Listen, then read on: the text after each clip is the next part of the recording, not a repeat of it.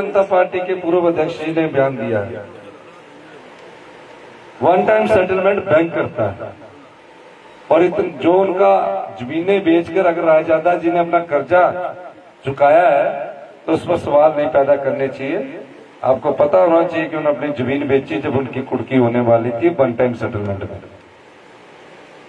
तो उन पर सवाल है कि कहाँ से पैसा करवा दिया कोई बैंक हमारे द्वारा गाइड नहीं किया जाता। और कोई एक व्यक्ति के लिए पॉलिसी नहीं आई है। मेरे समय भारतीय जनता पार्टी के समय से शुरू हुआ वन टाइम सेटलमेंट मैंने नहीं किया। उन्होंने किया। और उसने साढ़े तीन करोड़ रुपए की अपनी जगह बेचकर अपना लोन वन टाइम सेटलमेंट में चुकाया। ऐसे सवाल नहीं करने चाहिए, झूठ पर आधारित है।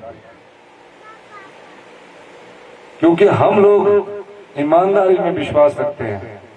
इसीलिए मैं कहना चाहता हूँ कि आप एक जून को जब वोट डालने जाएँगे तो आपको धन बल को हराना होगा। जनबल और धनबल। भारतीय जनता पार्टी के पूर्व अध्यक्ष जी ने बयान दिया है। वन टाइम सेटलमेंट बैंक करता है।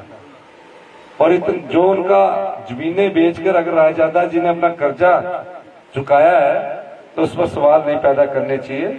आपको पता होना चाहिए कि उन्होंने अपनी ज़मीन बेची जब उनकी कुड़की होने वाली थी वन टाइम सेटलमेंट में।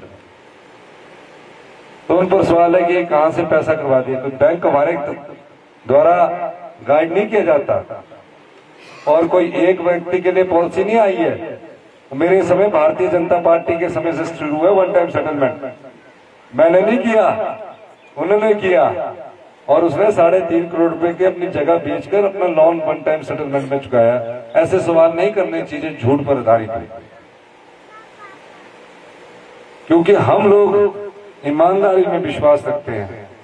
इसीलिए मैं कहना चाहता हूँ कि आप एक जून को जब वोट डालने जाएँगे तो आपको धन बल को हराना होगा। जनबल और धनबल? भारतीय जनता पार्टी के पूर्व अध्यक्ष जी ने बयान दिया है। वन टाइम सेटलमेंट बैंक करता है।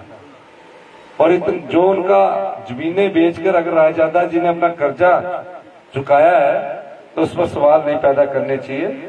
आपको पता होना चाहिए कि उन्होंने अपनी ज़मीन बेची जब उनकी कुड़की होने वाली थी वन टाइम सेटलमेंट में। तो उन पर सवाल है कि कहाँ से पैसा करवा दिया कोई बैंक हमारे द्वारा गाइड नहीं किया जाता। और कोई